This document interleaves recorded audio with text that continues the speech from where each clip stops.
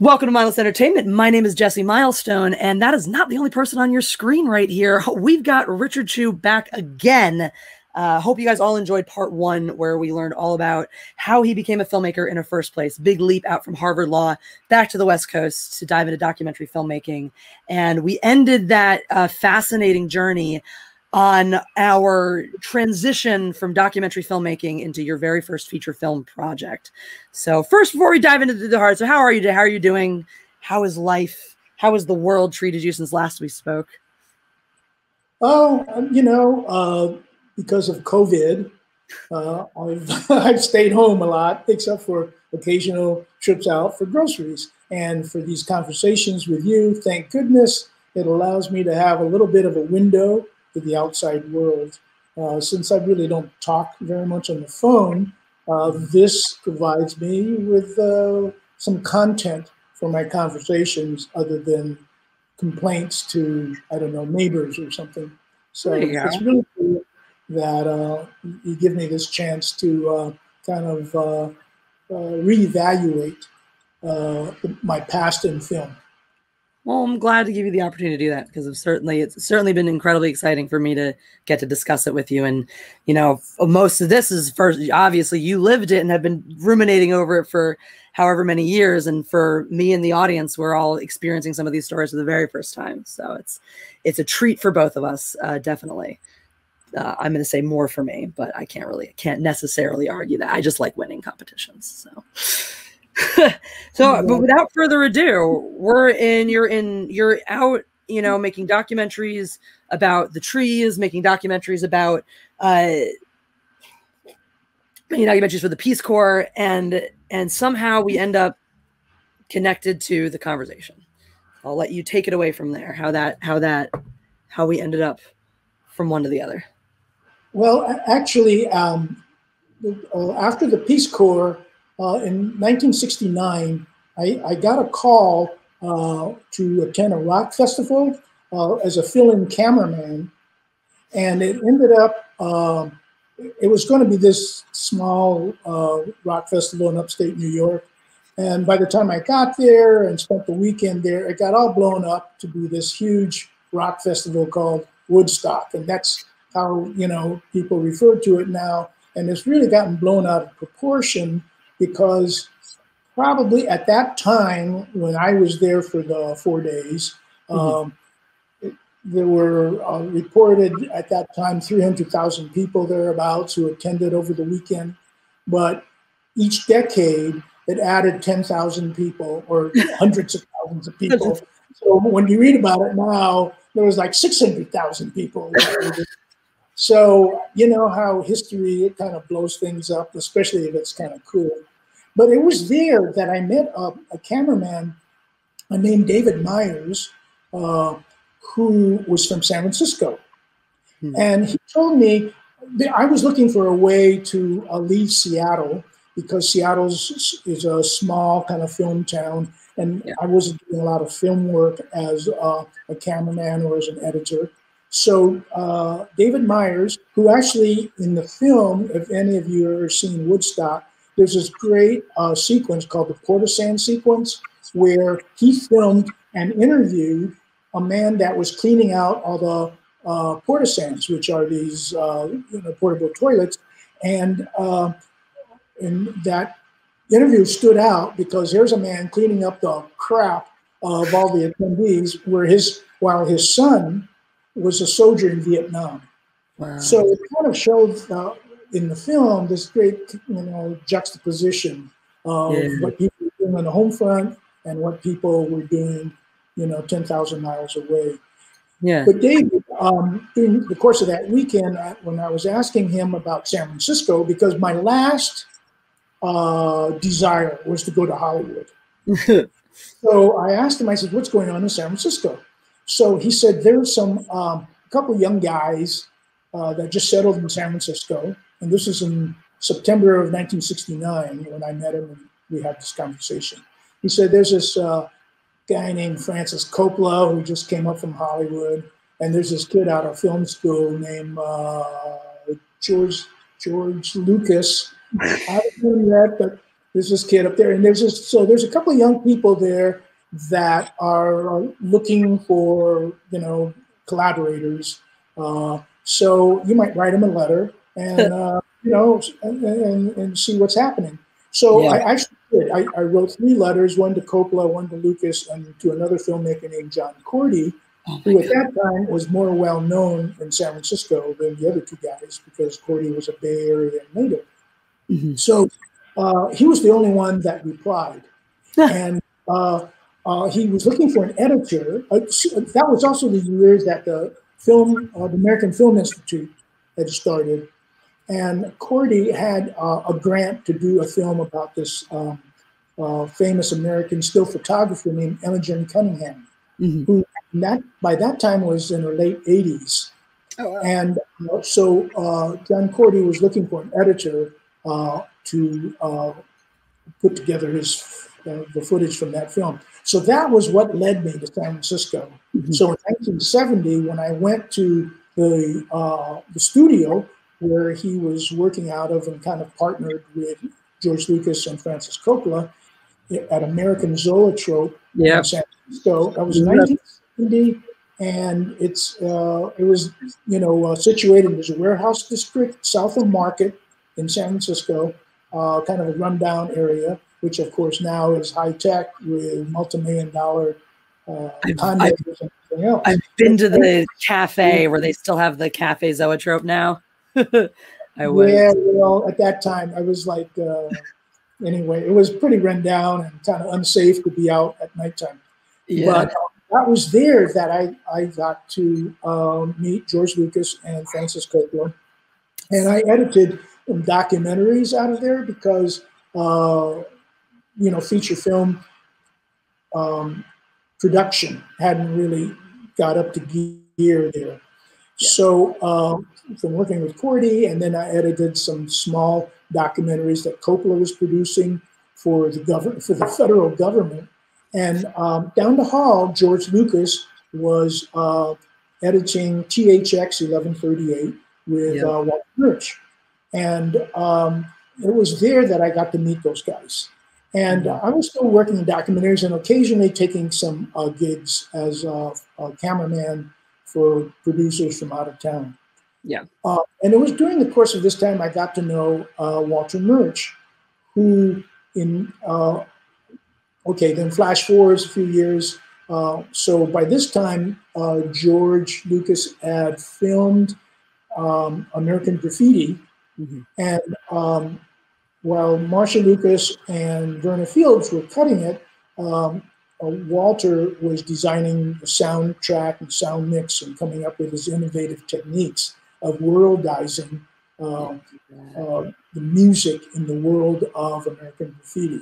Yeah. And um, by that time, um, uh, uh, Francis Coppola on the success of God, the first Godfather, uh, got funding from Paramount Studios to uh, to less than two million dollars to shoot this film based on a, a, script that Coppola had written back in the '60s called The Conversation, and um, because of how the, the, the, timeline was working out, um, Walter Murch uh, asked me if I would put together the first cut of the conversation while he was uh, completing his work on um, American Graffiti.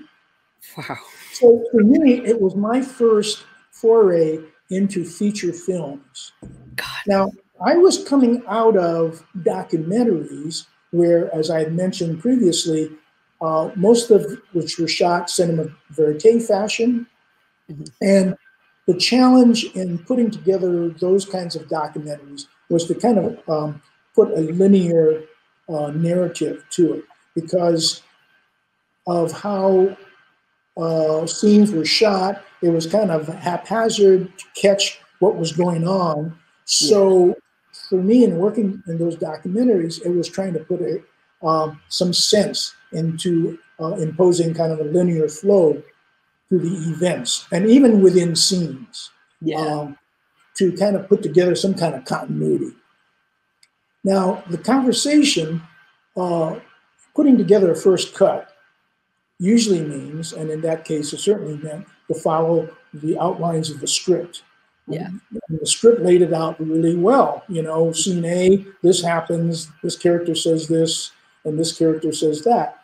And for me, that was just wonderful to have a blueprint Yeah. of how to tell a story, how to put together these images, because they were, you know, uh, staged and shot based on the script. So for me, it was a, a such a different exercise um, than working on cinema verite documentaries from my past.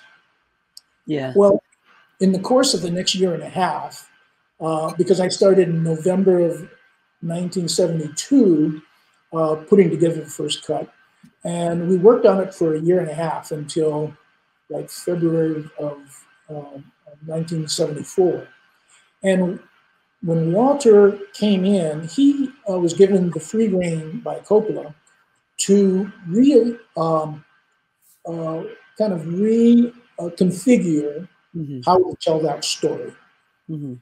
And um, as any of you who have seen the picture, you can see that there are uh, flashbacks to the conversation, flash forwards. Well, not really flash forwards, but flashbacks as to how Gene Hackman's character was imagining what was going on the, the, uh, behind what he had recorded on the tape. Mhm. So that to me, in that year and a half, it was a further education for me who hadn't gone to film school, how to tell a story. I didn't realize that the editor had the power uh, to change the flow of the story, what was revealed when. Mhm. And uh, that was like mind-boggling because I, because up to that time, I, th- I mean, at least I wasn't aware of how, at least in feature films, how you could change time flow. Yeah. So for me to be able to uh, see, like, oh man, you can actually take lift this part and move it over here, and just take some images from that part and put it over here, and um, you know, it was uh, going to film school for free. Yeah, that I mean, God, eh, to it's incredible for me, you know, having learned about all this to be this is the the period of time and specifically this the part of filmmaking history I'm most fascinated in is American Zoetrope and all of that. And so to be hearing it, you know, from the mouth of somebody who was there in the middle of it, part of these projects is is mind blowing, you know, and it's really it's puts it in a lot of perspective because you know, I'm hearing you talk about write a letter down to these guys, these these guys, incredible. It's almost reflective of my own anxiety of, oh, am I going to call this Richard guy in and see if he wants to talk to me? Where it's at the time, you know, you're just you're you're you got to take the shot, you know, and you got to go do it, and you don't know necessarily where it's all going to go, where and where these people are going to take. I mean, that, at that time, it's even crazier because Coppola and Lucas are just starting out; they aren't anybody yet. You're just you know a group of guys hanging out in a in a rundown part of San Francisco trying to make something into a reality, and it's that those are the of the the moments in life when you realize you're in the middle of them that I always relish the most. Not the moments where you realize you've made it and you've got it and you finally got the thing you've always wanted, but when you're in the middle of working on the things that mean everything to you, uh, that that's that are the reason or the drive that gets you up and out of bed every morning. I I try to catch those moments when they're happening because you you never know what they become. You know, at the very least, they're always happy memories, but you never know what they lead. Right. But you know, it's it's um, you know uh, these experiences which you don't plan on. Yeah. Uh, because I was there at the beginning of American Zoetrope, uh, there are many people who came through, yeah. and one uh, encounter that especially sticks in my mind because it's a cautionary tale was uh, Nicholas Ray was at the kind of the I guess the nadir. I mean, he was at the end near the end of his life, and um, he had asked Coppola if he could come and finish this cutting his film that he had shot uh, in prior years with his students in um, I forget I think it was, could have been CCNY uh, in New York or, or some school where he was teaching in New York State and that he had uh, assembled all this footage that was in 35 millimeter, 16 millimeter, maybe even 8 millimeter. And he needed some help uh, uh, to have a space with machines where he could. Uh, I see a tail on a wagon.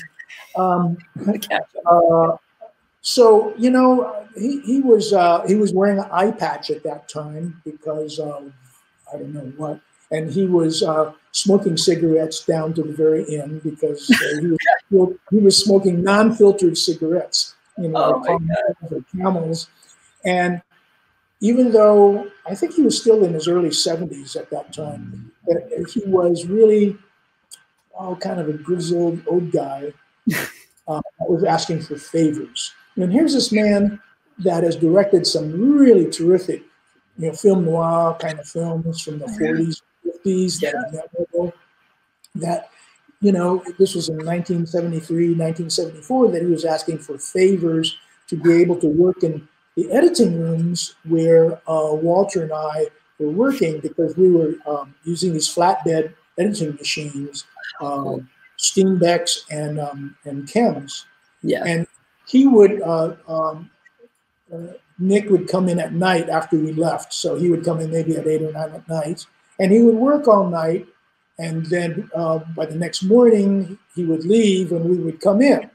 so it was it was really strange because here's a guy whose reputation I knew, but um, to see him up close, to see what, where he was at that time, and then you come in in the morning and there are boxes of or empty boxes of Chinese food that still smell food. You know, eye patch would be hanging on the doorknob. Oh my and, god! You know, and it was kind of like when I saw that, I said, "Boy, do I want to see what he looks like without his eye patch." it was kind of scary. Um, but you know, uh, so there were people, of course, through the Arthur C. Clarke, a science fiction writer, had come in to pitch something to, to Francis. I, there were all kinds of people coming in, and so uh, and it, it, was just really an incredible time for me to learn what I did from that experience. I mean, what better what better way to learn, really? It's uh, yeah. I mean, because like I said, since I hadn't gone to film school, these were the kind of experiences that one needed yeah. in order to expand uh, what I needed to know, especially in editing or you're shaping stuff. It, it, wasn't like I was still shooting 60 millimeter uh, yeah. documentaries in the yeah. woods.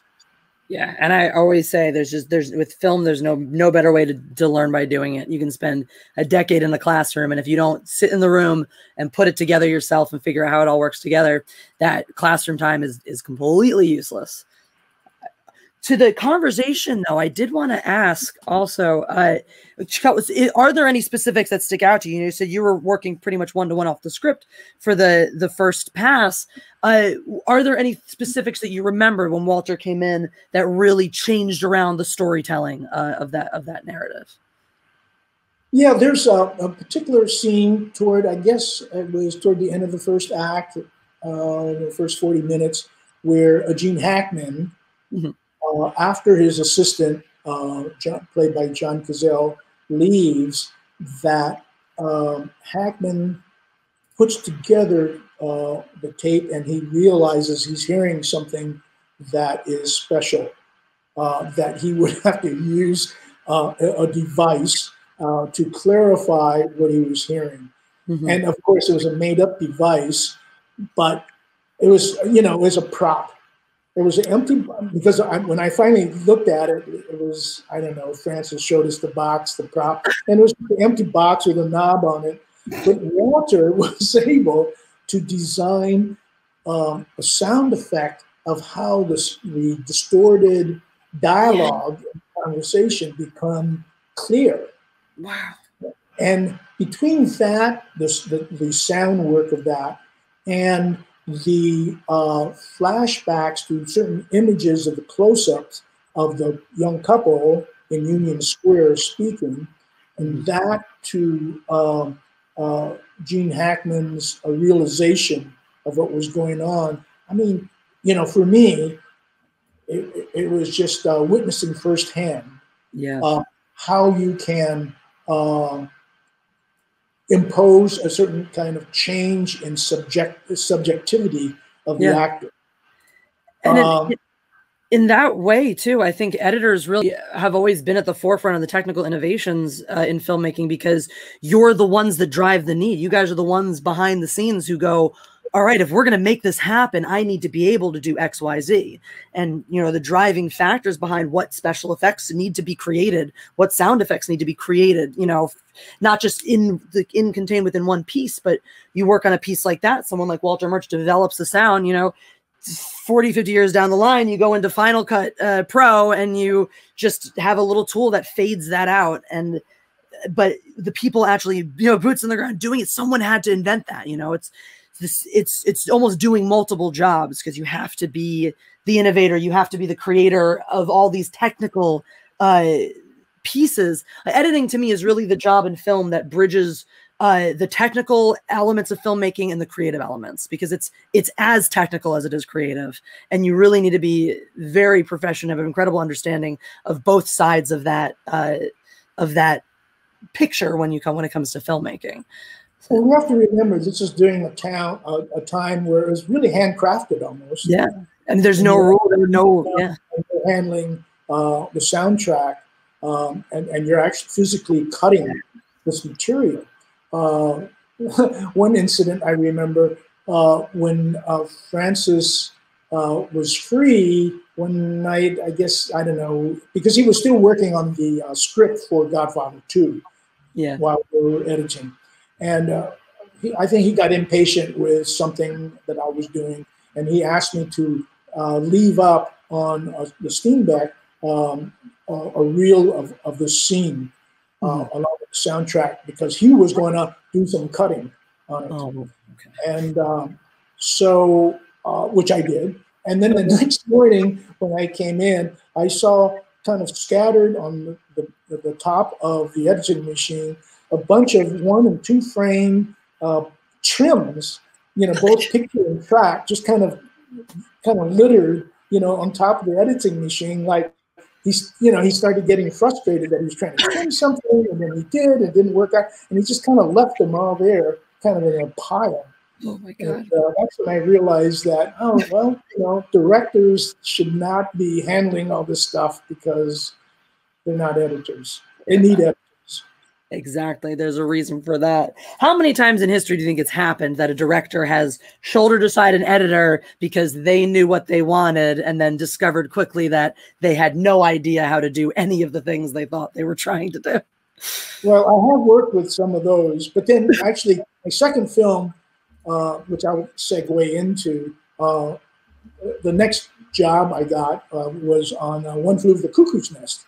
Yeah. And I did, um, you know, with that director, Milos Forman, I did learn a whole bunch of completely new things that was so different from what I learned from working on the conversation.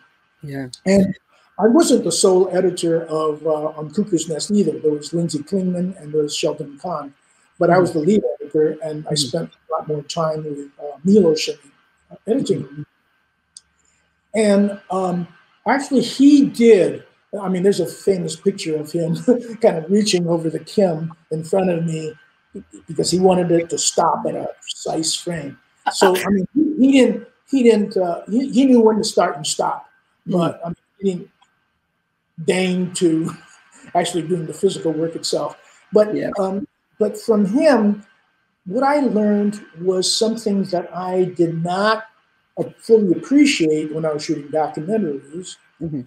And if if you uh, were to review One Flew Over the Cuckoo's Nest today, you can see how integral um, the use of reaction shots is Mm, uh, in terms of advancing each character's development. yeah. Because group therapy sessions, basically, it's driven by the dialogue between uh, Randle McMurphy, played by Jack Nicholson, Yep. and uh, uh, Nurse Ratched, played by Louise Fletcher. And the other guys who are the patients uh, were merely reacting uh, Mhm. to what was being said or done. But you needed those in essence because each character contributed toward the climax of the picture. Yeah. And if you didn't have them engaged, Yeah. uh, and learn about them actually just from their reactions and not from their dialogue. So, um, you know, uh, for me, working back in the cinema verite kind of days, at least with the people I was working with, reaction shots or we used shots where people weren't speaking mm-hmm. Mm-hmm. really as bridges to cover up jump cuts because yep. the kind of aesthetic that I kind of grew up in in the late 60s was, you know, jump cuts were kind of uh, not desired. You don't want to see someone speaking and then it'll be a jump and then they're still speaking again, but they're in a different mood or something like that. So you mm-hmm. would cut to a reaction shot to bridge that. Yeah. But I learned from working on Cuckoo's Nest with Milos that um, they you can use them, uh, you know, to further story and character development. Yeah. And what an amazing thing, you know, because there's not I, I hadn't read anything about how to do that, but it was there in the year that I worked with him. Uh, yeah. How to use reactions to further the story. Yeah. And I, of course, you know, I didn't, I, I didn't appreciate any of the stuff that I was learning until years later when I was kind of uh, working as the sole editor on, yeah. on films. But this was really my training period, even though I resisted a lot of it because I was kind of too, I don't know, naive uh, to realize that this was like a, a, you know a pass for me to go to Milos Forman Film School. What was the hardest part in you know working on those those movies you know especially something like cuckoo's nest which sounds like it's a little more the conversation was more sort of you stepped in to do this and and got to learn a lot from walter murch in the in the process. And then cuckoo's nest you know you're you're picking up new things but you're also supervising. So what were the what were some of the th- the biggest strides you made in that time in your uh, in terms of your own work? And then what were the things, the biggest roadblocks that you were still working through during that process? Well, probably, uh, you know, being a young editor at the time, probably my biggest roadblock was my ego. Because uh, I, I, find that a lot of editors feel like, uh, hey, this is my cut, man. You know, mm-hmm. what's wrong with it? You know, it's perfect. Don't yep. fuck with it, you know? yep. You don't need the director. Yeah. Uh, so I, I, would say kind of my pride was was mm-hmm. an obstacle, and mm-hmm. um, and and because of also the pressure of time, you know, uh, um, you don't realize that you know, the director has one goal in mind, and then kind of my goal was trying to protect my work or something like that. I was just mm-hmm. kind of kind of young and stupid, you know. Yep. Yeah, I mean that makes sense. That makes a lot of sense, uh, and it's it's really interesting because I think it's something that I always go back to. And I think there's a reason I harp on film being a collaborative process and everybody, you know, being responsible for their roles and and helping because I'm I understand that very I'm my tendency is that same thing, the ego, the, the being precious about my stuff. And that was such a great lesson for me uh, in the work I've done in film so far, and that you know it's going to help me continue to be a better collaborator. Is are those things are the point where you have to just you know, pry your fingers off. That's something we'll get to in the later section, uh, later sections as well. Uh, is a little more about that and how cinema's changed now because we are in a landscape where it's less, you know, this the editor and the editor knows the stuff and the director and that we're in the era of everybody wants to be a celebrity. The directors want to be celebrities. The producers want to be celebrities, and, and so the ego gets blo- gets brought into the creative room even more. Uh, but it really it's it's incredible. I'm hearing you talk about it and it's there's there's only so much room you know you're all young working people trying to get a project done and ego still comes into play. So you realize that being the case there isn't room when you get to these you know when you're loftier goals bigger personalities and stuff there isn't room for those egos. And when they start to come into the picture they end up edging out everybody else uh, and that's what I just you know to take a moment. Then was that something that's that changed over time as you as you worked uh, compared to your time at American Zoetrope? How how was the collaborative element? Was it more uh, everyone kind of was treated on a, a more equal playing field, or was it more sort of up the food chain than than it is than it was working through later? Well, I, I you know it really um, I think it, it depends on the personalities involved and uh, um, the amount of money that's involved. Mm-hmm. uh, for sure, uh, in my documentary days, there was less ego involved and there was more collaboration. Mm-hmm. But you know, when I got into features, especially, I guess the, the, the couple that I worked uh, in, in, in the San Francisco Bay Area, the conversation, One Flew Over the Cuckoo's Nest, and Star Wars. Um, you know, the director had a bigger responsibility, and then the, the bigger their personality, yeah. Um, you know, the more control that they would insist on mm-hmm. because that's how it went. I mean, you, you know, when I was working in documentaries, there are people like more my age and they didn't really do had accomplished anything more than me, you know. But mm-hmm. by the time I got to work with um, a Coppola or um, a Milos or, mm-hmm. George Lucas, they had made several films, really good films.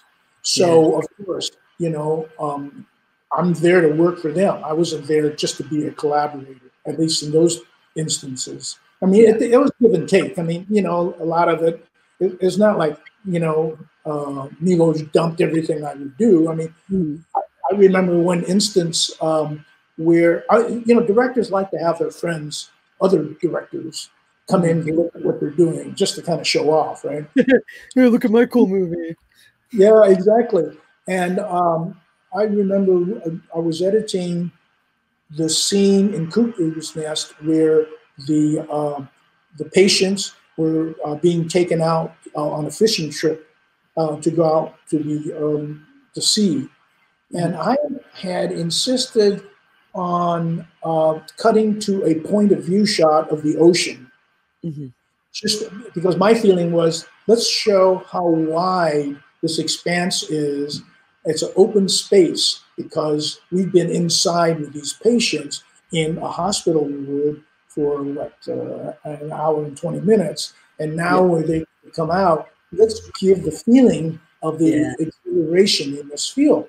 And and Milos, who, like I was saying, he was always interested in the faces of people and their reaction, the characters. And he he uh, he didn't like my idea, and he would say, "Take that out." And I was saying, you know, I said, no, you really need that. Well, it just so happened that day, um, Werner Herzog came by for lunch to, to visit uh, with uh, um, uh, Milos. And, you know, Milos would say, oh, well, hey, let's show him my version, show him your version. So I showed him the two versions, and, mm-hmm. and uh, Herzog really liked, what well, didn't really like, but he preferred the version that had the point of view of the ocean because mm-hmm. of course he did. So I felt like ah, you know. Uh, so that that was. Dude, so it's to show you how subjective it all is. That just made my day because Werner Herzog is one of my other favorite. Just he's probably one of my favorite people in general, beyond just his filmmaking and personality and all. I listen to his interviews to get inspiration when I need to do improv shows because he I could I do a Werner Herzog impression. It's my favorite character to do. And so to hear that uh, like that now that now knowing that Werner Herzog is the reason that your cut your your version was the preferred version it's just, it was like one shot. your your shot, your choice, your yeah. choice in that moment. But it, it yeah. tracks though, because of course Werner Herzog would make that based on everything I've seen of his work as a filmmaker. That's exactly his. Of course, he's going to go for the big visual metaphor naturally. I, I love that. That might have been the great, greatest story I've ever heard. That just made my day. I love that so much. Oh man, I I wanted to double back before we j- jump into our next big film. Obviously, we're gonna spend some time on that because this guy, gentleman that appeared in both. Uh, I just had a realization with you talking about that I never thought of before, which is you're editing this first pass on the conversation before American Graffiti comes out, and you're telling me they're still working on that over there. So your very first time ever seeing Harrison Ford as an actor is in the rough cuts, you know, in in the dailies not sorry, you you made the rough cut is the dailies from the conversation. So what can you speak a little bit to that? You know, as I you've mentioned certain things before about how he comes across and and what that is like looking at you know, look, seeing somebody pop off of the, of the, screen or seeing somebody affect you in a certain way on screen, and then tracing their their trajectory. So before we jump into stars, even maybe to segue in, like, what was that like seeing him, you know, this guy pop into into frame for the first time uh, in your work on the conversation, and then have him come back into the picture when you uh, jump into uh, into Star Wars with Harrison Ford. So. Well, you know, uh, when you are working in, in films and seeing young actors, there's a lot of young actors. Mm-hmm. There's a lot of good looking people, young, old, and, and who knows what's going to happen with them. Actually, you know, I had seen him in uh, uh, in American Graffiti when oh, yeah. Walter and and, um, and George were working on that, okay. and so he was just kind of a young, good-looking guy that was funny, you know. But uh, for me, he didn't stand out any more than um, Paul Le Mat or Ron Howard or any of these younger people because they're all kind of smart alecky kids, except for the Ron Howard character, you know, yeah. on the street uh, driving their cars. And then in the conversation, you know, uh, I think one of the people that was really instrumental in uh, having spotted the talent of, uh, of Harrison Ford and getting him cast in those films coming out of the Zoetrope uh, mm-hmm. was Fred Roos, who uh, has frequently gotten uh, producer credit on the Coppola pictures. And mm-hmm. as a, he was really a casting director that spotted people like Harrison Ford, Cindy Williams, oh, um, Fred Forrest, you know, in the conversation. Yeah. So, so he got, you know, uh, he suggested and brought in uh, Harrison Ford as the assistant to the Robert Duvall character in yeah. in uh, the conversation, and you know, um, I got to meet him along with you know Walter and I went with Harrison to uh, do some looping because mm-hmm. as we cut some of the picture, we needed him to do some lines, and I forget which ones. But you know, he at that time uh, on the side, he was working as a finish carpenter. Mm-hmm. And so he was, you know, I remember we were at Paramount walking across the lot, and he was uh, kind of uh, talking about some project. I think he was installing some bathroom cabinets or something in some some other celebrity's home in Malibu. And he was talking about he hopes that the looping session uh, won't be too long because of the traffic. He had to get back out to finish the job. You know, so here it is. And I just thought, you know, he's a he's a you know a friendly young actor that mm-hmm. had a gig as a carpenter, and who knows if I'll ever see him again. so um, uh, because of I think uh, uh, that he did really a good job on American Graffiti, and because of, I think Fred Roos's influence, uh, yeah. he helped you know uh, bring him into Star Wars, and yeah. you know it, it's uh, so much of casting you, you, just don't know how it catches on with an audience. It, yeah. it could have been a flop, you know. Right. Uh, so we don't. I mean, the whole movie could have been a flop. I mean, we don't know, you know. I mean, those are the those are the crazy things. That's the crazy things we always hear. You know, us fanatics reading about Star Wars is how it really was one of those projects where every happy accident, every little thing sort of had to trip into each other in the right way at the right time. Like if certain if a certain person wasn't there at the right time at the right place, the whole thing was going to fall apart.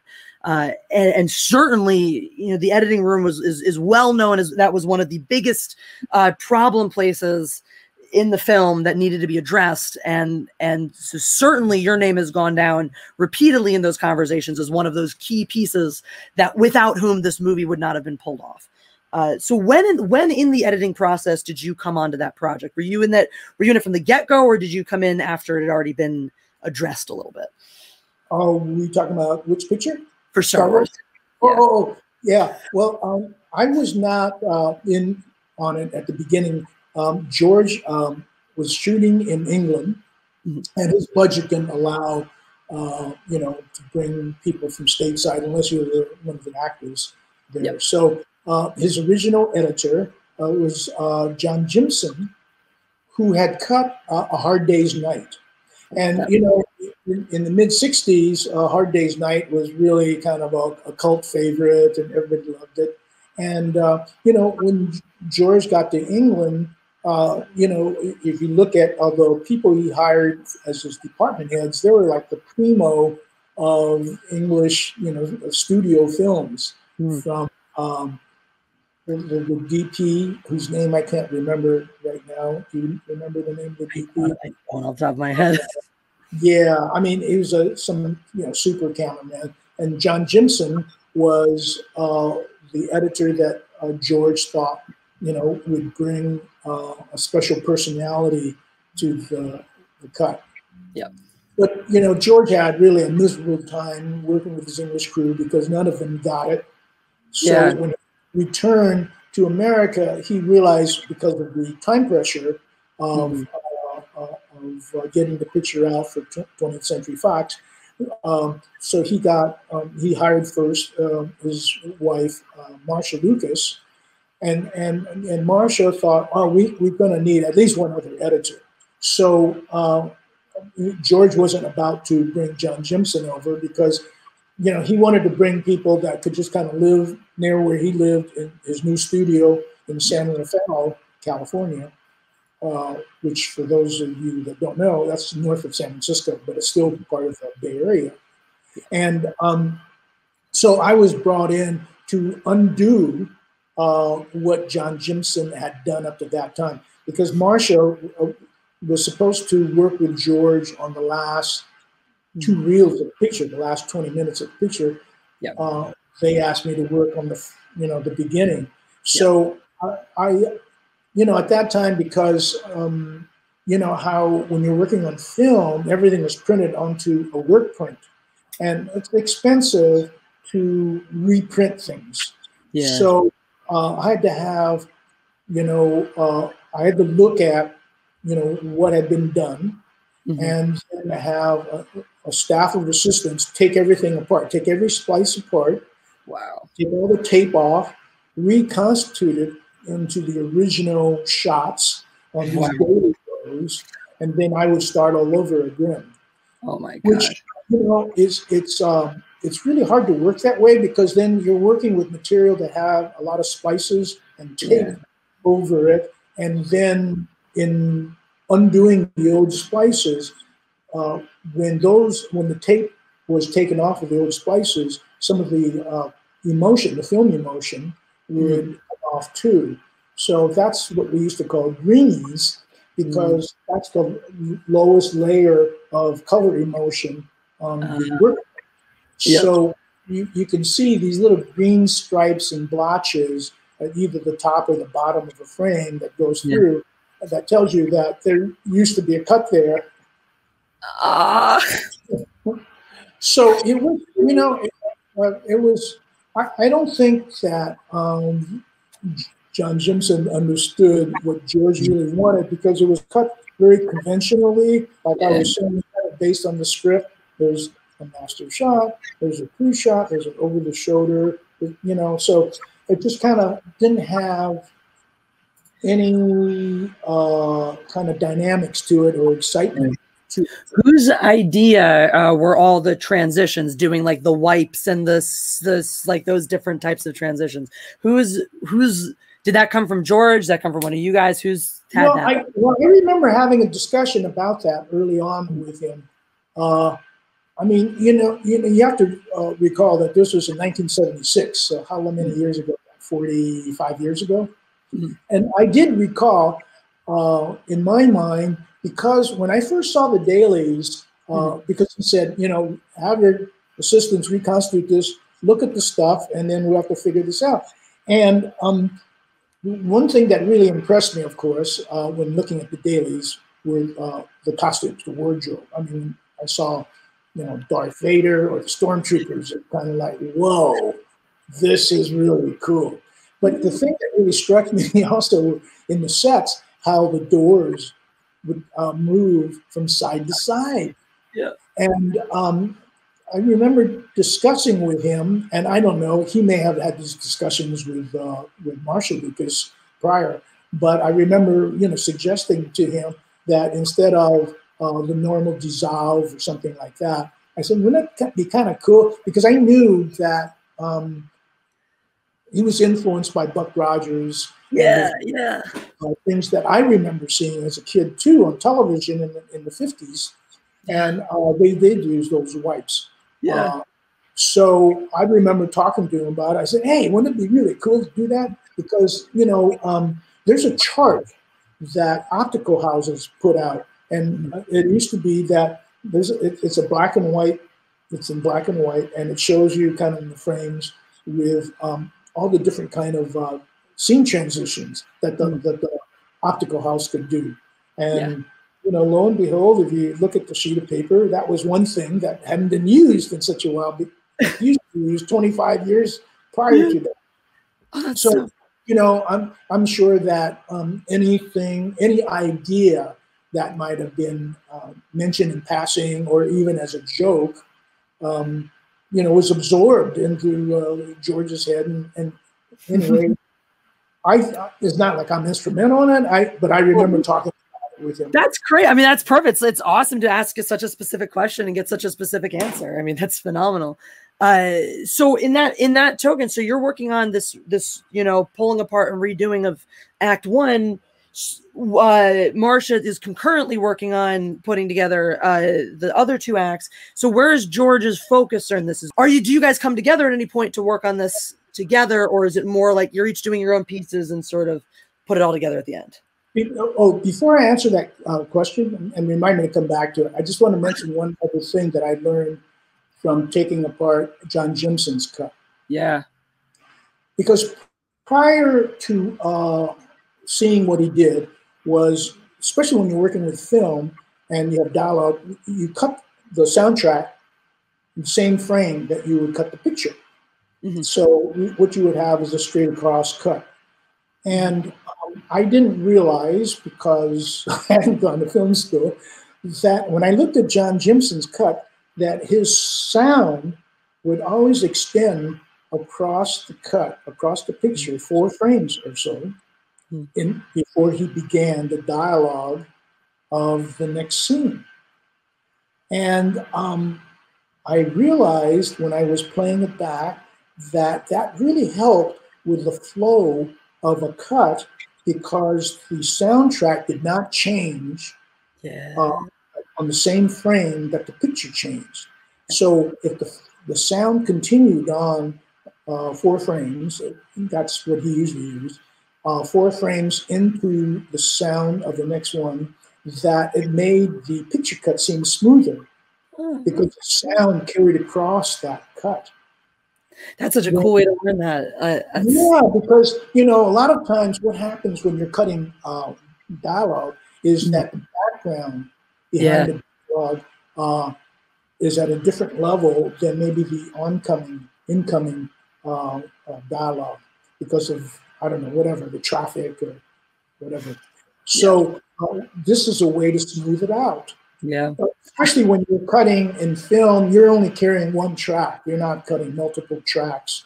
You know, yeah. To, because it's just too much to be manipulating all of that. Whereas I, digitally you can, but in, in the uh, manual days, you know, uh, we had to do that.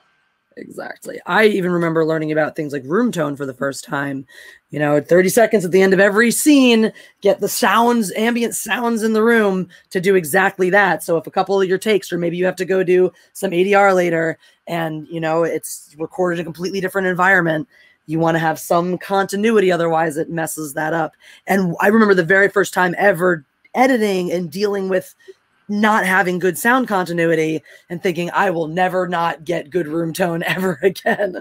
Because it really messes up everything. If you're one person's talking here and the other person's talking here and the background change changes completely it's very jarring and it really takes you out of the uh, the the moment. I mean I've even there's a famous study that uh but they showed a bunch of people the same quality footage. They showed it with one with a really good sound quality soundtrack and one with a lesser quality soundtrack, the people responded saying that the footage looked lesser quality. They didn't know it was the same. They responded all saying the one with the worst sound looked worse. And that was really eye-opening for me at how important sound is in your production, how critical it is. If you can you can actually cut corners with picture more than with sound. That's something that I've advised up and coming filmmakers repeatedly. Right. The, uh, a good soundtrack uh, uh, designed and mixed yeah. imparts so much more production value to, you can even use the footage off your iPhone But exactly. if you have like really uh, professionally done, not even professionally, but just imaginatively designed soundtrack, yeah, it just kind of, it expands that world. Yeah, and, you know, it's kind of strange of how the the trick that your mind plays on it, because I've been watching uh, uh, movies uh, at home with my headsets on, you know, rather than being in the theater. I'll put on a headset to be able to hear better the, the design of the whole thing. And it's tricky that even though you have a headset on and all the sound is in here, but somehow what I'm hearing here sounds like it's really coming from your mind plays that trick on you. Yeah, yeah, it's it really is a powerful tool.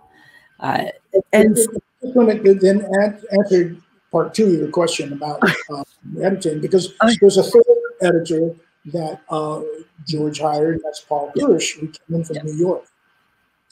Uh, we had to, I think by this time, I didn't come on the picture until they returned from England, which was in mm-hmm. June, I believe, in 1976. Mm-hmm. And George was committed to showing a cut uh, in November to uh, the studio executives. And he still hadn't produced any of the visual effects. Mm, wow. So by this time, I believe it was August uh, or even September that mm. uh, George brought in uh, Paul Hirsch. So there were three of us working, and we were getting each other's uh, uh, material because George wasn't there uh, the entire week. He would spend every three days, the first three days of the week, in Van Nuys, California, where the uh, original ILM yep. uh, was uh, renting um, warehouse space out in uh, Van Nuys. About five minutes up the road from where we live right now, actually. Yeah, so, you know, all the, the camera equipment uh, was all being designed by John Dykstra and his crew. So, mm-hmm. um, George was working down there with them to try to just manufacture something. And then he would come back up and then he would work with us maybe uh, the other three days of the week. Yeah. So, you know, it was really kind of, I wouldn't say chaotic, but there was a lot of work to do. And that's why we were trading stuff back and forth. And yeah. we were kind of our, our best collaborators amongst ourselves because he wasn't there uh, half the time. And so when he was there, did he have a very strong vision that he wanted to impart, or did he kind of was he at a point where with all the other moving pieces, he just sort of trusted you guys and then would course correct when he felt it was necessary? Yeah, I was more like a course correction. I mean, because you know, I, I one of the first, I, I, I, I, yeah, one of the first um, sequences that he assigned to me was uh, what we called the gunport sequence, and that movie is where um, uh, Han Solo and, and the crew uh, was escaping from the Death Star. Yep. So they, they get into the uh, Millennium Falcon, and they were then shooting at the Tie fighters that were coming in. So yep. um, when I when he was giving me that to work on, it was all a green screen uh, where uh, let's see, uh, Leia and Chewbacca were in the cockpit, and when mm-hmm. they were looking up, there behind them was just green screen. And then with Harrison Ford and Mark Hamill in their gun turrets was just green screen. Yeah. And all they were doing is just kind of looking from here to there at George's direction. Look up to the right, look up to the left, you know, spin around. So you, you hear these directions and uh, kind of between the lines that they're throwing at each other. And so George says, you know, um, here, I'm going to show you. This is the famous thing that you read about, everybody talks about, is this montage that George had put together in 16 millimeter, mm-hmm. uh, uh, black and white footage of dogfights uh, from World War II. So mm-hmm. he found this newsreel stuff of uh, American fighters, Japanese fighters, German fighters, and they're all kind of flying and crisscrossing the sky, and people are shooting back and forth. And you know, he said, this is an example of what I would like to see, mm-hmm. uh, the, the gunport sequence. And, you know, here it is. I'm coming out of not action pictures. Mm-hmm. I come out of you know, something was trying to, uh, like in the conversation, it's kind of a mystery of trying yep. to solve something. Or in Cuckoo's Nest, it was more a performance piece yeah. of real people reacting in real time, and there was no action there except for, I don't even know. But uh, assigned, so I was just working on eye movement, you know, of directing the eye of where um, Mark was going to be. And I realized that if you're going to turn this way, that cutting to a point of view, which was just his point of view with the green screen, was going to be something. Mm-hmm. So, uh, not knowing that that uh, 16 frames, which uh-huh. is two takes per second, was going to have something in it, you know. Yeah. So it, it was it, it was pretty crazy to put together stuff like that yeah. that had blanks, basically blanks in between what uh, work print I was working with of the, the real actors. Yeah. So um, I, you know, he would just say make that longer, make that shorter because he wanted um, to to create something that had yet been created yeah. to you know to bridge that gap. So he's actually doing. So he's probably sitting there going running in his head how long he thinks it's going to take for the shot of the TIE flyers, TIE fighters to fly by. Uh, oh, I think you need a couple more seconds there. It's all this very, very theoretical uh, cutting in a way. That's yeah, so- yeah, it was. But you know, the big thing that I learned from that, you know, to talk about the kind of the film school education I got in my first five, six years of working in feature films was Marcia, I was assigned to um, cut this, uh, the, the scene of Darth Vader making his uh, appearance in the film, where the uh, the his army, the stormtroopers, would break through uh, yeah. into the, the, spaceship, and, and then he would come up. And um, the the footage was very limited because I mean George, working with a limited budget, would have, say, for instance, in that sequence, he would have he would shoot two takes at the most, and and each take he would move the camera for a different composition. So he would essentially end up with maybe four angles mm-hmm. of a, a, particular, uh, you know, uh, setup, not a setup, but a, of that scene.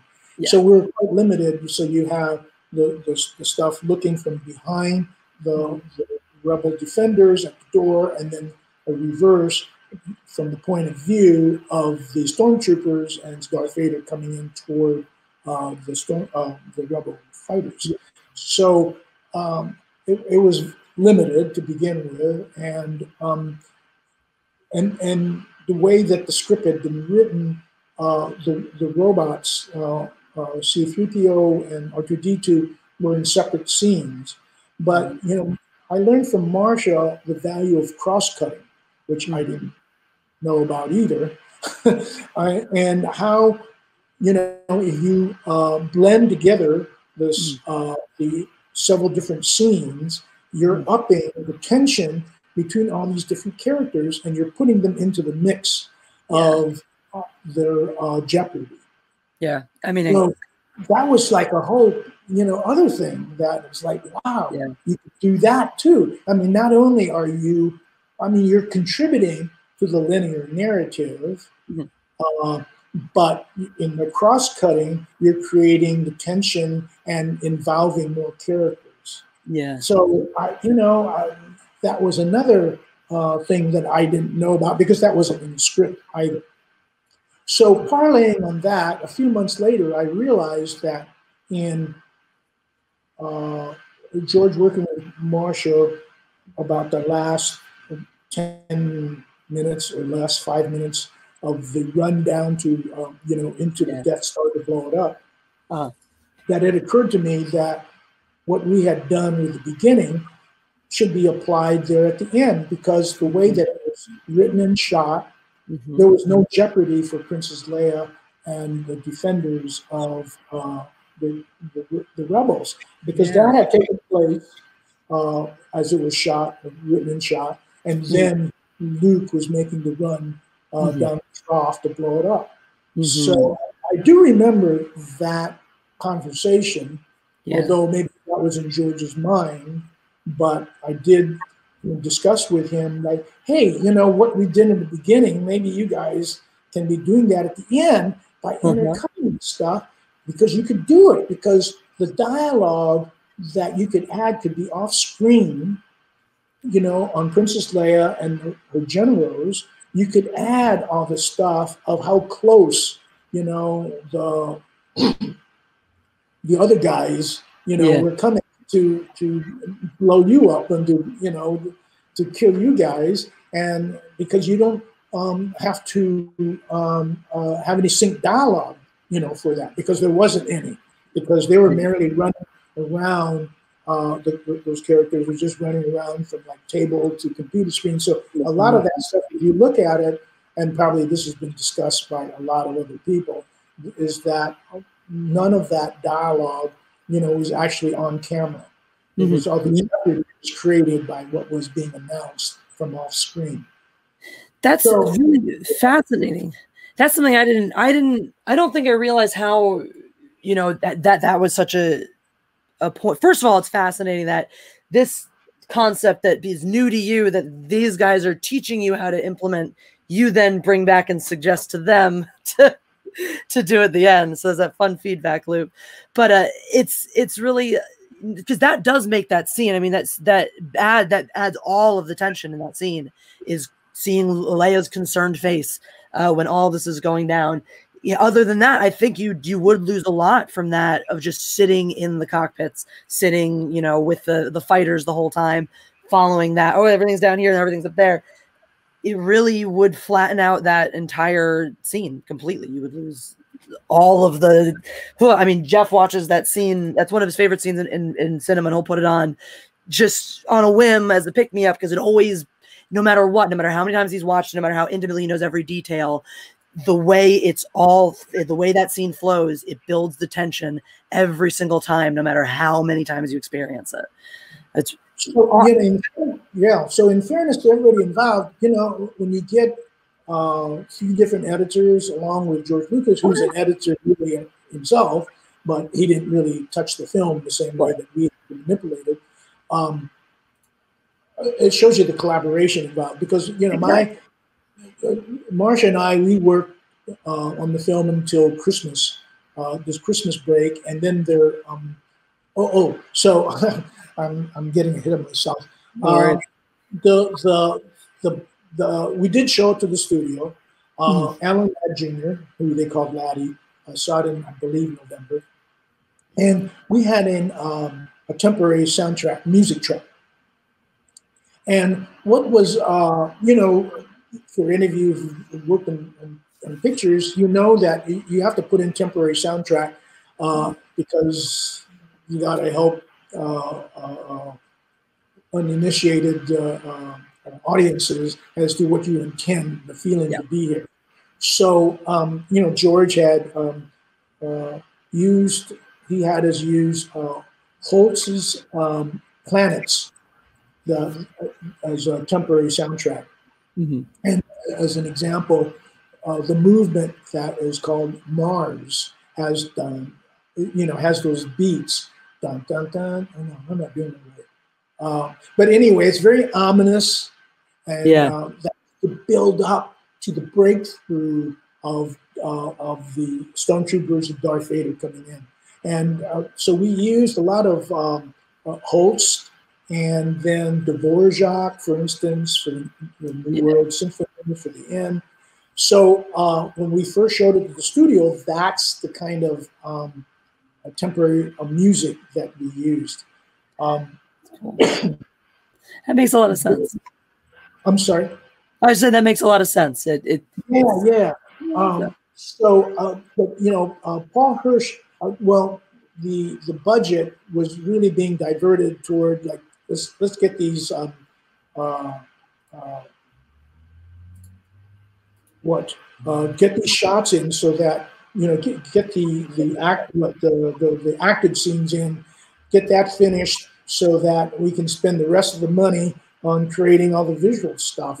Yep. So yeah, so you know the, the the so Marsha and I left at the at Christmas time, and Paul Hirsch continued to refine the picture with George, as uh, you know, Paul can you know, talks about a lot, even in his book, talking about all the finishing work that he, he did with George. But one thing I, I, wanted to talk about, uh, uh, you know, to show you how handcrafted uh, my work on Star Wars was, was in my last week or so working on it. Uh, George said that the people at ILM needed a template um, to uh, for them to animate in all the laser shots or the, the laser the shooting between all the different uh, you know characters on the screen.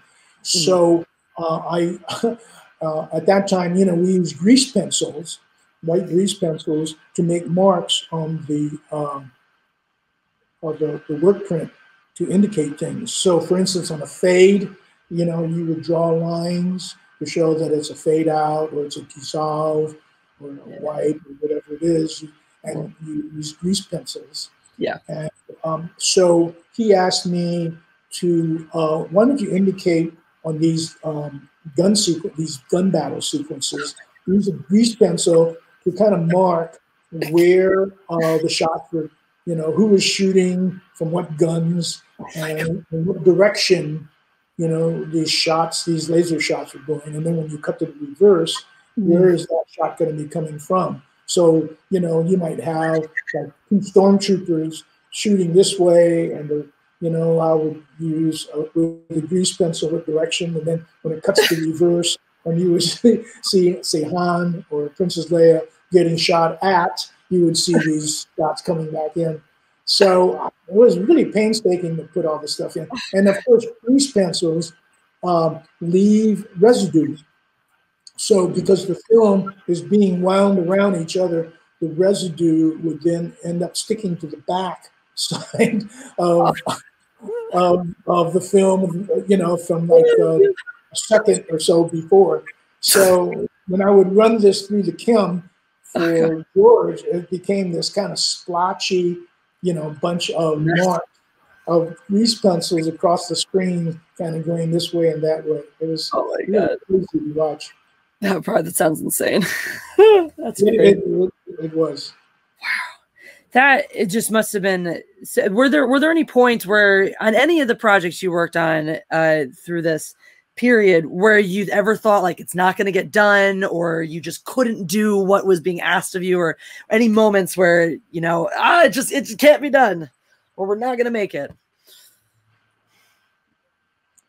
uh well yes yeah, especially in star wars because i wasn't there until the end yeah and and you know i had seen very little by the time i left in december um, 1976 of uh, I had seen very little of what was being created, mm-hmm. uh, you know, by ILM.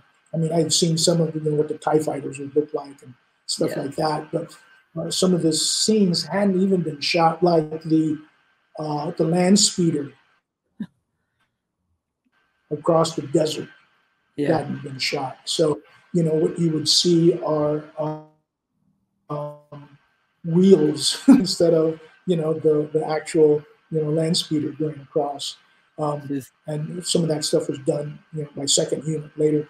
But yeah. um, so I, I, you know, that, you know, for such a huge undertaking that who knows, because it was so dependent on so many different uh, collaborators, uh, you know, from sound effects. I mean, like Ben Burtt, you know, is creating all all stuff out basically in his editing room uh, using uh, just a tape recorder.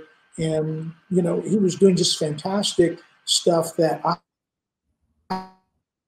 had heard of. Would of the Nagra uh, recorder uh, in order to play back uh, certain sound effects for, like, say, Chewbacca's sound. And um, uh, then he would layer that on top of other things. And you know, between that, the uh, the sounds he was creating for R2D2, uh, and the and, you know he was I think that was one of his well I know it was one of his early jobs you know out of mm-hmm. film school. So between that and what was being created 400 miles away at ILM, It hmm. was, you know, uh, I had no idea, you know, how George would be able to, you know, make it all come off. Yeah. So when you saw the finished product, the piece too that you know who knows whether there's an audience, you know, out there for this. Because at a certain cynical moment, I remember making a crack to George. I said, "Well, hey, if the movie doesn't work out, you can make some toys out of these guys, and you know maybe you can merchandise some of them." Little did I know, little did I know that he had in contract early on with the studio, even before he shot the picture, that he had mm-hmm. merchandising rights. And, uh, you know, so he was so far ahead of, you know, at least my little thinking, you know, by making a little crack to try to reduce this gigantic film into, hey, George, maybe you can make some toys out of this. But, well, he uh, definitely did that. That's crazy. Now, was there anything in that one in particular? Since you know there was so there were so many changes that happened since you were t- you touched it to its its final iteration. Were there any big surprises uh, when you saw the finished piece? Uh, uh, good, bad, whatever, just different. Any big changes either to the the cutting itself, the, the narrative, uh, or just the way it changed, having all the effects and the John Williams score and all that. What was that experience like? You know, seeing this this finished product that you had been such an in integral part of. Yeah, when I was in, uh, when I got to see finally the finished film for the first time in May of 1977, uh, mm-hmm. Um, I I was knocked out by the opening um, spaceship coming in from the top of the screen and the duration of it for how big it was. Yeah, I mean, because I hadn't seen that in December of the prior year. Mm-hmm. So between you know the the crawl and the, the with the opening titles and to the, uh, the, spaceship coming in, chasing, of course. Well, actually, it, you see, you know, the rebels running away, and then the big spaceship. Yeah, that was when I realized with that audience, it, it, was a. I forgot where the audience was recruited, but it was actually in a theater uh-huh. in San Rafael, and the audience stood up and cheered. I, was, I had never, you know, worked on a movie that had an audience that rose up to their feet and wow. cheered when that because these were obviously people that I'm looking forward to it, you know. And there's like mm-hmm. one of the first um, uh, public viewings of the completed film. Yeah, that's incredible. Wow, that's that must have been just so magical too. That those are the things that always blow my mind with movie making is no matter what part you're on, and unless you're actually the people, I mean, even if you're the people rendering the special effects and whatnot, you're rarely seeing the completed piece. You're just sending it off to someone to plug back in. So on a picture like a Star Wars or something with a lot of action and visual effects, uh, how nobody outside of the directors and producers are tracking the entire process really see the final cut until it's done and what a what a difference that must have been. Like you said you know coming from supervising cuckoo's nest where you see pretty much the final product when it's out of your hands there's not a whole lot of of changes that happen at that point to something like this where you're the, the movie doesn't happen without you but at the same time you're you're such a, a specific piece of it and there's so much more that needs to go in. You know it's really kind of mind-blowing when you look at every piece uh, that went into making that film yeah, well, you know, uh, yeah, I, I felt certainly more than in the other two films. In this film, I was just one soldier among a whole company of troops, yep. you know, that all their specialties, you know, uh, different weapons, brought different weapons to. Yeah, exactly. That's exactly what it is. It's everyone has their tools as their weapons, and everyone has their special skills and knows how to use them. That's a it's a great metaphor for it. Uh, and then, of course, subsequently, you know, you ended up taking home a big shiny uh, piece of gold from that. What was it like? I mean, even the whole getting the finding out you were nominated, and then finding out, you know, uh, and then being there and, and accepting the award and all that, and just you know, this brings up a whole topic about awards. Yeah you, you know, um, because you know, it's it's very misleading. I would feel because you know, to go back in my story, you know, I I worked in documentaries, uh, the the Redwoods, which was the first documentary that I'd shot and edited, had won an Oscar for best short documentary, but I wasn't there, uh, you know, to to receive an Oscar. Anyway, the the uh, the director of that was there. I was in the jungles of Colombia in the Andes, actually, not in the jungles, but in the Andes, uh, shooting that film for the Peace Corps I mentioned. That yeah. was in 1967, 1968. Um, yeah, it was 1968. And then on One Flew Over the Cuckoo's, oh, and then the conversation, although it wasn't nominated for an Oscar, it was nominated for several BAFTAs, the British Academy. Mm-hmm. And, uh, and that was in 1974, right? So, uh, so it was nominated uh, uh, for editing there, and I didn't. Uh, I didn't go to England because no one offered to uh, to pay my way there. So I didn't go to that. It did get nominated, and it did win um, mm-hmm. an, an, award, an editing award in England. And then One Flew the Cuckoo's Nest was nominated for an Oscar as well as for a BAFTA the very next year. And uh, mm-hmm. so I did go to the Oscar ceremony for that. But that was the mm-hmm. year that was really heavy competition that um, I, along with uh, Lynzee Klingman and Sheldon Kahn, uh, were there, but we lost to uh, Verna Fields, who uh, won the Oscar for Jaws. Mm-hmm. So I was kind of uh, what uh, used to, you know, working on pictures that, hey, you know, it's nominated for this or that. So mm-hmm. what's a big deal? So yeah.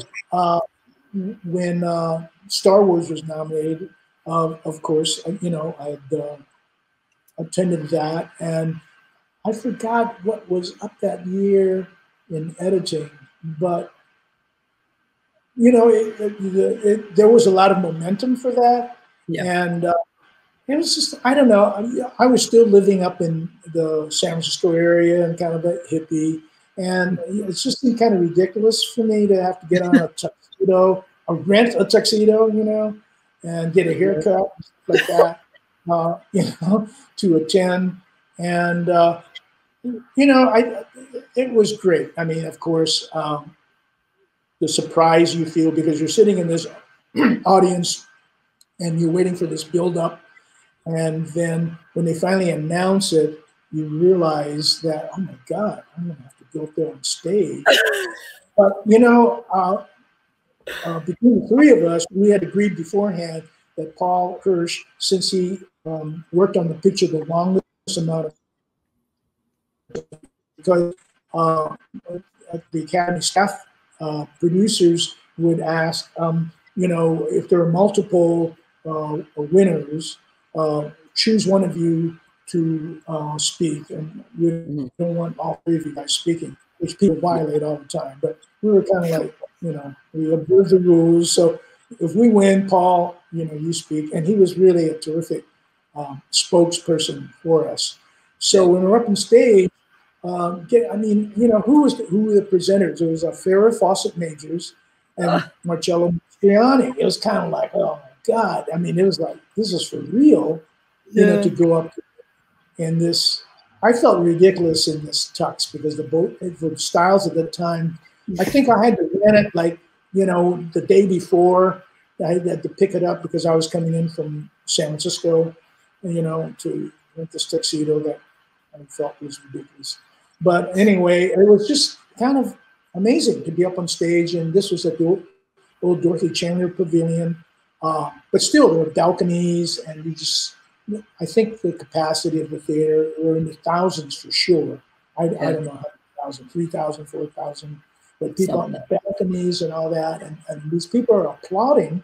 And I forgot what, who had preceded us in Star Wars to win something because I forget how many. I think we won five. The picture won 5 mm-hmm.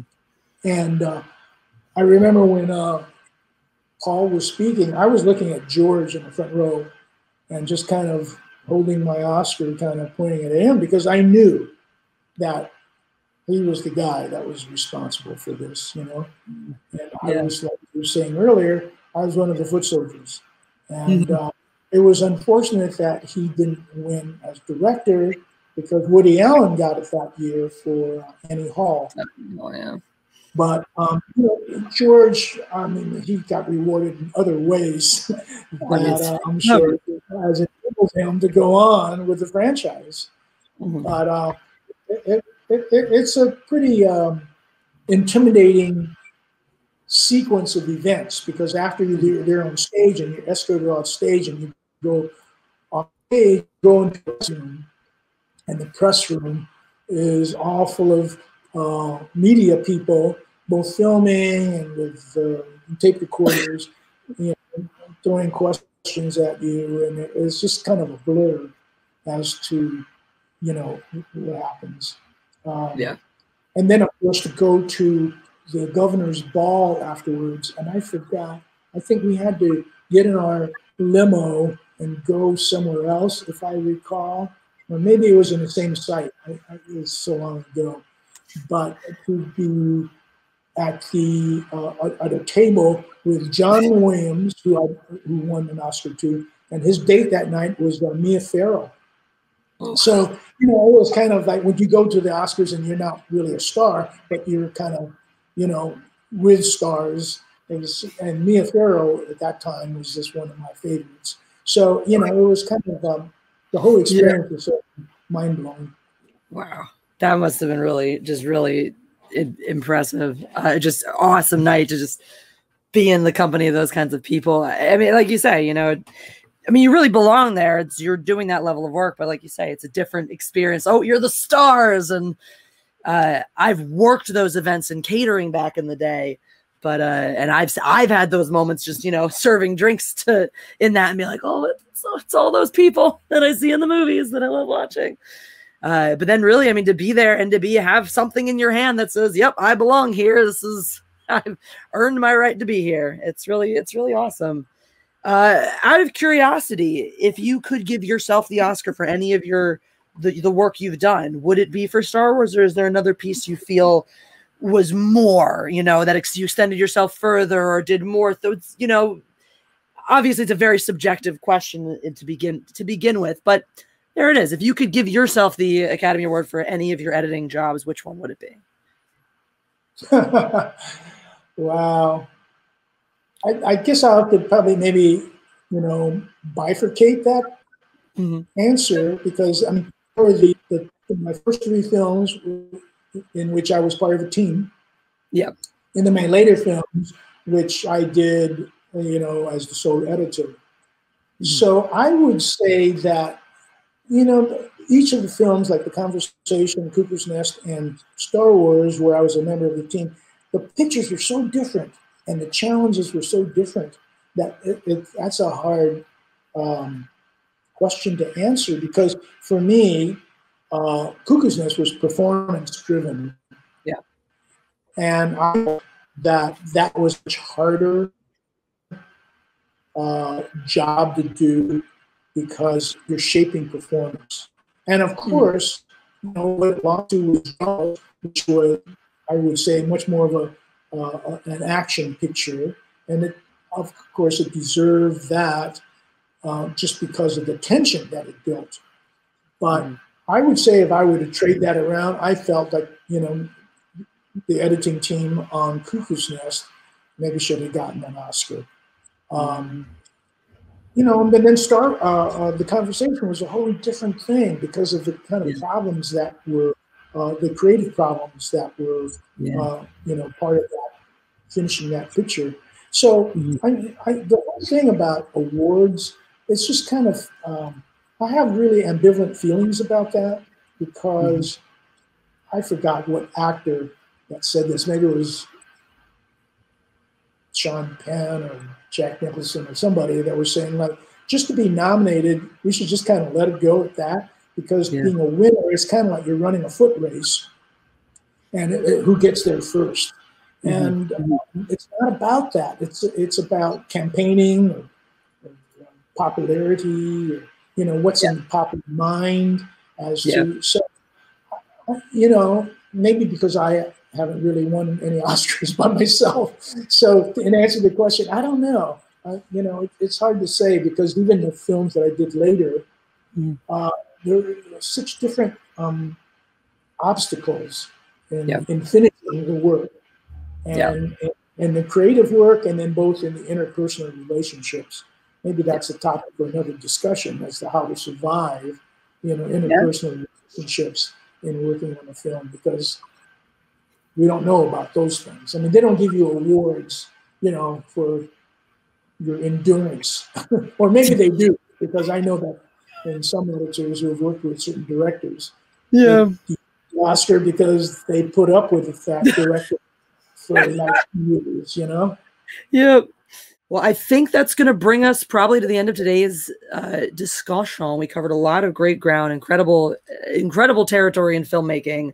Um, what more can I say that you haven't already? I mean, it's really been such a such a again a gift and a pleasure. All incredible stories about things I expected to hear and things I didn't expect to hear. I mean, that nugget about Werner Herzog really did make my day. So thank you once again, Richard, for being here, for donating all of this time, and we'll continue on moving into the next phase of your career, which is of course becoming an independent man and uh, in terms of editing, being the solo editor on a lot of these projects uh, having all of the freedoms and control that uh, come with being a, an Oscar winner and a hot commodity moving into the uh, next next phase of your of your career. So I'm really looking forward to diving into that next time and hope everybody's been enjoying watching. Once again, thank you, Richard, and until next time, God Empress out. Have a good day.